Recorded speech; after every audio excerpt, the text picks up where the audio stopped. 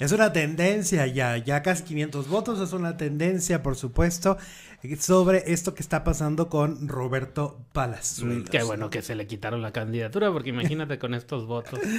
Iba a pasar lo mismo que Adame. Y ahora él ¿Te dice acuerdas? que sí, que él fue el que se retiró, que no lo corrieron. ¿Te acuerdas de cuántos votos logró Adame? Como dos, ¿no? El de su mamá. que le ganó Rocío Banquels, ¿no? Oye, ah, bueno, si quieres vamos a tocar el tema de Palazuelos para saber de qué estamos hablando y que la gente pueda que la gente pueda votar, pues resulta que a Roberto Palazuelos lo han, lo han eliminado de la candidatura de eh, para ser gobernador de Quintana Roo en México. Ya ven que él tiene muchos negocios allá. Pues ya fue eliminado. El partido Movimiento Ciudadano ha decidido retirarle la candidatura a Roberto Palazuelos, según se confirmó desde, el desde ayer en la tarde, ¿no? Está previsto que el anuncio se haga oficial durante una convención del grupo político este sábado, pero bueno, a las constantes, constantes polémicas de Roberto Palazuelos son las que han provocado que eh, el partido diga, no, tú no eres nuestro candidato y vamos a retirarte de la contienda. Eh, a ver, ocurren aquí muchas cosas. Primero, él hizo una como una pre-campaña, yo la sentí así, que fue a diferentes programas. Claro que aclaraban y decían, estoy aquí por, por- para hablar de mi carrera. Y yo digo, pues que no dijiste que ya te ibas a retirar. ¿Cuál carrera, no? Este, pero, pero eso, eso lo hacían porque si no, eh, incumplían la, la ley, ¿no? Rompían la ley. Al final de cuentas no podían entrevistar a alguien que todavía no era candidato. Y anduvo haciendo un tour de medios. Y luego eh, eh, lo que pasó es que le empezaron a revivir también todos esos comentarios tan desafortunados que ha dado, ¿no? Porque es un, es una persona, pues es un mi rey, ¿no?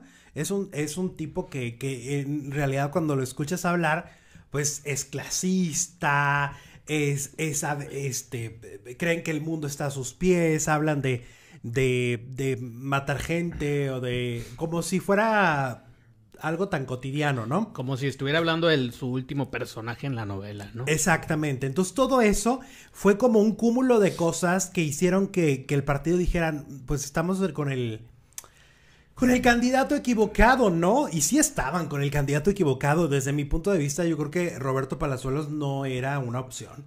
Pues es que Movimiento Ciudadano es un partido nuevo, un partido joven, es lo que venden, ¿no? Y Roberto Palazuelos, pues es la imagen del PRI viejo, ¿no? De los privilegios, de los mis reyes, de los que hacían y deshacían al país a su antojo. Y pues él solito se puso la soga al cuello al hablar de...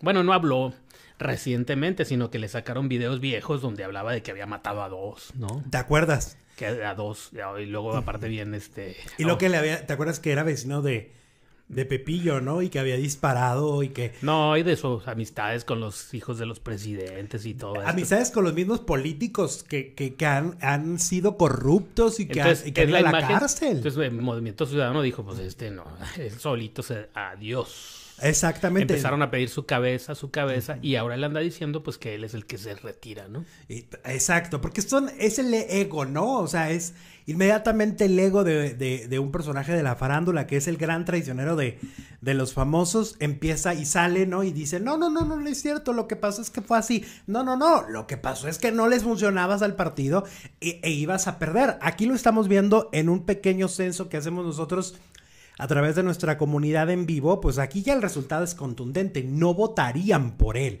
No lo ven como una buena opción, ¿no? Lo, lo- Oye, es que si cuando vas y votas por un político que sabes que medio sabe, ¿no?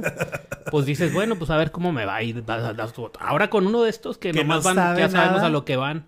Y para gobernador. Imagínate nomás. O sea, no era ni siquiera, o sea, no, no es de que empezó chiquito en una alcaldía, que son enormes, pero ok, una alcaldía, pero un estado. O sea, todo lo que representa, ¿no? Pero por esa parte, ¿cómo lo manejaba, no? Eh, Las últimas declaraciones, es que lo quiero de regalo de cumpleaños. Ay, no. O sea, o sea. Ajá, y luego lo acabas de ver en el reality este de MTV, ¿no? Como un mi rey absoluto, con las mujeres usándolas como, la- a las mujeres cosificándolas en su, pro- en su programa. O sea, no había de dónde dijeras tú, es que creo en Roberto Palazuelos.